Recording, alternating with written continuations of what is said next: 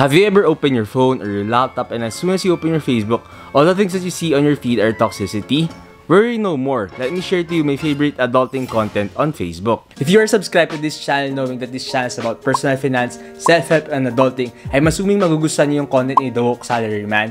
Most probably you've seen their content na on Facebook, but for those people who are unaware, I'd like to share to you yung content nila because I really love it. I'll leave links in the description box down below. I'm planning to talk about three of their articles na ginawa nila, but only a portion of it, so let's start with this one.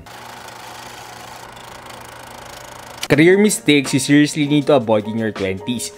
They cited five career pitfalls here, namely, being afraid to leave a toxic job because you haven't stayed long enough, not negotiating or asking for a pay increment or other benefits, giving up early and becoming a private hire driver, blindly joining MNCs with the wrong expectations, expecting work-life balance and high pay to go together, lastly, having a wage slave mentality. I want to focus on the last one, wage slave mentality, because this is something na me and my friends always joke about. And yung term na ginagamit namin dito is alipin na salapi, na every time na mag-uusap kami sasabihin namin, ayoko na ng trabaho, gusto ko na mag-resign, mag end up kami na sasabihin namin, at puta, wala akong choice kasi alipin pa din ako ng salapi. So alam mo yun, yung feeling na ganon. Well, going back dun sa article, I love these three lines that they wrote. If your job pays you enough, then great. But if you have a full-time job no longer pays you enough, no guarantee a future, you have to take matters into your own hands. They really suggest na gumawa ka ng paraan to take control of your life. In today's era, we firmly believe in side hustling. If you're paid to work from 9 to 6, don't spend the best years of your life working 9 to 2 a.m. If you're going to work that hard, we rather go back home at 6 and work for yourself. What they suggest is if you don't see a future na in your corporate life, stop putting too much time on it. Instead, build a side hustle. If your work demands you to work from 9 to 6, just work from 9 to 6. Don't go to overtime. Instead, what you do, from 6 p.m. to 2 a.m., you start building your dreams. I remember yung isang uh, speech ni Carlo Ople. You might have known him as the YouTuber na, na nagre-review ng mga sneakers sa Philippines. But for me, Carlo Ople is one of the greatest public speakers here in the Philippines. I remember yung CSB TED Talk niya and I'd like to share that to you. Here's one big point that I'd like to stress this morning. There is no excuse to not make a living doing what you love. In today's age, uh, where the internet is so big and there are so many things you can do, where the walls of commerce, the walls of business have been broken down, there is absolutely no reason for you to not make money doing what you love. So, what is the 7 p.m. to 1 a.m. principle? 8 to 5, you build your career. 7 to 1, you build your dreams. The road less traveled is really to pursue what you want to do. But the road less traveled is the hardest path to take.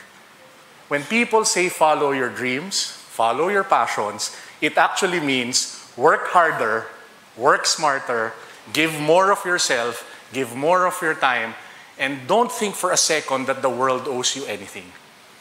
That's what it means to follow your passion. You are not supposed to follow or listen to your heart. You're supposed to lead it. It's an active thing. It's not something that just falls magically on your lap and then you become successful overnight. It takes a lot of hard work. Last and most important, they end their article with these phrases. Learn a new skill, practice what you learn at work on a personal project, pick up a new qualification, build your portfolio, and then get paid for it. If you are willing to work the hours outside work while people are catching a movie or a Netflix, it will put you far ahead of your peers. But you gotta be working for yourself, not your boss. Stay woke, salaryman. The second article that I wanted to talk about is called Why I'm Shamelessly Downgrading. I've talked about this in several of my past videos before and I actually did it and I'm happy with it. What I can attribute with this regarding to my life is yung minimalism. Back when I was college, I used to buy excessive sneakers. And dumating ako sa point na parang after a few years of buying excessive sneakers, I asked myself, bakit ko pa to ginagawa? And I end up admitting to myself na wala lang, I just wanted to look cool. And after that, I realized na mali yung ginagawa ko and I stopped buying unnecessary things. There's a lot of benefits that you could attribute to minimalism or downgrading. Yung pinaka-common dito is spending less and being able to save more. But in my case, hindi ganun yung case ko.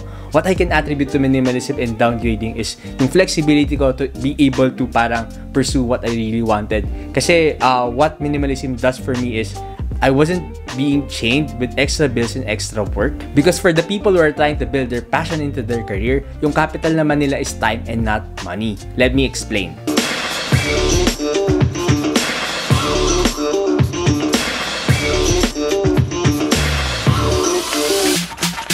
This is your passion and you want to turn it into your career. And the reason why you need time is because that will be the bridge that will connect your passion to your career. Time will allow you to put in the work to improve your skills in your passion.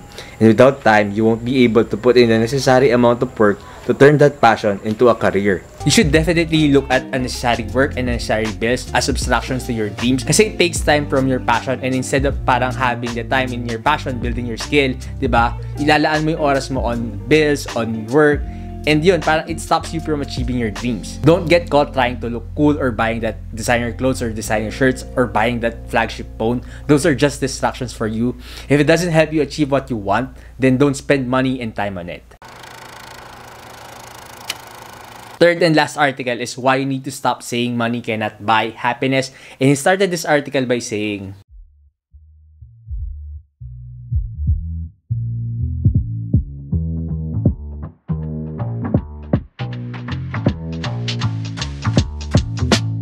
And I think I totally agree dun sa sinabi niya. It's a common misinterpretation. It's like the same with the quote na money is the root of all evil. Pero yung nakalimutan nilang idagdag doon, yung complete na quote na yun is, the love for money is the root of all evil because that means greed. So yun, parang putting that greed na word or parang interpreting love for greed, parang it gives you a different sense of perspective about money. Money is just a tool. It's just a special paper that we use to buy goods or services. And at the end of the day, it's us controlling our money. We could do good things or bad things with our money. At the end of the day, it's all our choice. Anyway, she still cited that there are things that money still cannot buy. Money cannot bring back the time we miss. Money cannot bring back uh, our loved ones from death. And I have totally made peace with it and I parang accepted it and I'm happy with it because without it parang hindi mo i-cherish yung mga special moments mo. To put a conclusion with money and happiness, I'd love to use yung piece ni Casey Neistat. So let me share to you one of his videos. I thought about it further. Okay, ready? Rich or poor, we all face these problems. Problems that all call life problems. Life problems are things like finding happiness and finding love and a sense of fulfillment in your life and a sense of purpose maybe in your career, etc. These are life problems. These are problems we all, rich or poor, encounter. Money won't solve these problems.